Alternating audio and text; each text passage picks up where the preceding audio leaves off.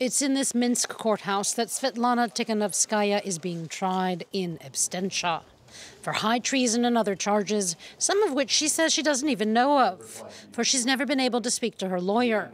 She's been refused access to court documents, and she's not allowed to participate via video in the closed door trial in exile for the past two and a half years since spearheading massive pro democracy protests in Belarus. The 40 year old spoke to world leaders in Davos. She says her trial is just one of many attempts by Alexander Lukashenko to crack down on dissidents. These trials uh, are not trials at all. It shows, it's farce, but not, it's, it has nothing to do with justice at all. So it's personal revenge of uh, Lukashenko, of his cronies, not only on me, but on other people who are opposing him.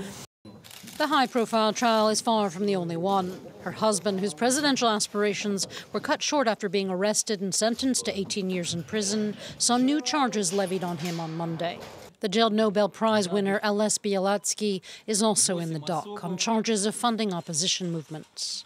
And the trial of Polish Belarusian journalist Andrzej Poczobut has also begun. He too is facing 12 years behind bars for criticizing Lukashenko's regime. Europe's High Commissioner of Foreign Affairs, Josep Borrell, raised the alarm in a statement, saying the regime's repression has reached an unprecedented level.